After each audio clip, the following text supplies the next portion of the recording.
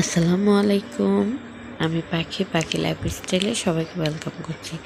কাঁচা বন্ধুরে দেশ এবং দেশের বাহিরে এই মুহূর্তে যে যেখান থেকে বসে আমার এই ব্লগটা দেখছেন, আশা করি সবাই ভালো আছেন। আলহামদুলিল্লাহ, আমরাও ভালো আছি।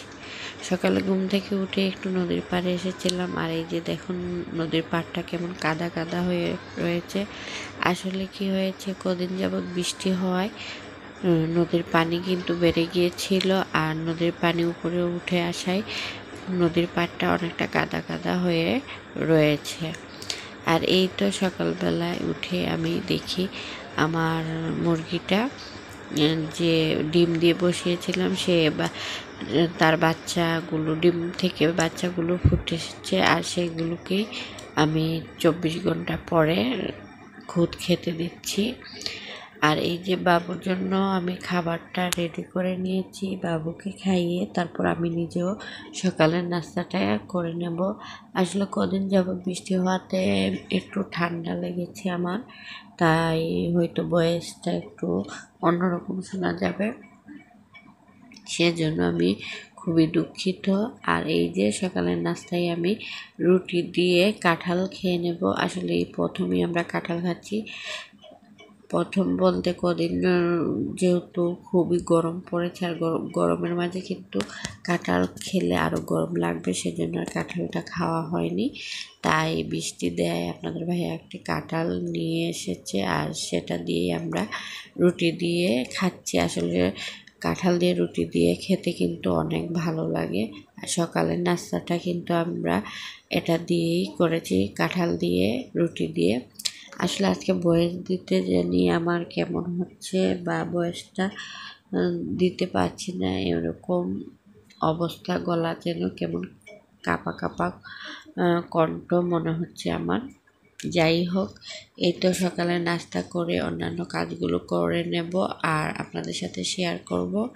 সকালের নাস্তাটা করার পর আমি রান্নায় চলে গিয়েছিলাম, আসলে সব কিছু রেডি করে রেখেছিলাম। আর এই তো রান্নাটাও বসিয়ে দিয়েছি। আজকে আমি মুরগির মাংস ভুনা ভুনা করব সেই জন্য আমি প্রথমে মাংসটা ভালো করে ভেজে নিয়েছি।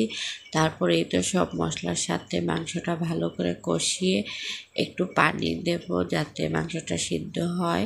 যেহেতু আমি মাখা মাখা রাখব সেই জন্য বেশি একটা পানি দেব না।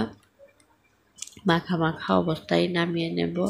আর ছোটো বাবু নিয়ে যেহেতু কাজ করতে হয়, সেটা তো আপনারা বুঝেনি একটি কাজ করতে গেলে যে কতবার বাবুকে দেখাশোনা করতে হয়, সেটা যাদের বাসায় ছোটো বাবু আছে, শুধু তারাই বুঝবেন। আর এই যে দেখেন বাইরে কিন্তু বৃষ্টি হচ্ছে, সকালবেলা একটু মেঘলা আকাশ দেখেছি, আর এই তো বৃষ্টি হচ্ছে। আর বৃষ্টির দিনে কিন্তু অন্ধকার অন্ধকার মনে হয়। ঘরগুলো কিন্তু অন্ধকার অন্ধকার মনে হয়। যদিও আমি লাইট জেলে রেখেছিলাম, জ্বালিয়ে রেখেছিলাম। আর এই তো এখানে আমি মানি প্ল্যান্টের ডাল একটা নিয়ে এসেছি। আর এই ডালটাকে আমি কেটে তারপর আমার বেসিন এরিয়াটাতে রেখে দেব একটি মাটির টবে পানি দিয়ে। দেখতে কিন্তু ভালোই লাগবে। আমিও আমার ব্লগের আপুদেরকে দেখি।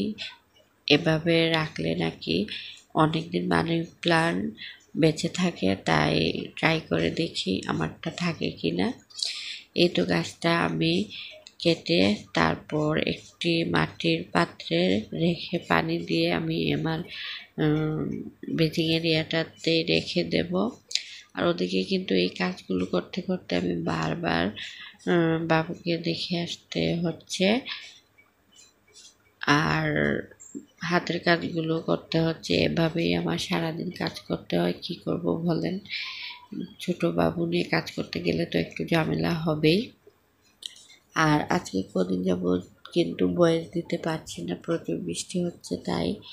যখনই চাইছি যে বয়স দিয়ে ভিডিওটা এডিটিং করব, তখনই বৃষ্টি হচ্ছে। আর বৃষ্টির শব্দে কিন্তু বয়স দেওয়া যায় না। তাই আমার ভিডিওটা ছাড়তেও, ব্লগটা ছাড়তেও অনেকটা দেরি হয়ে গিয়েছে।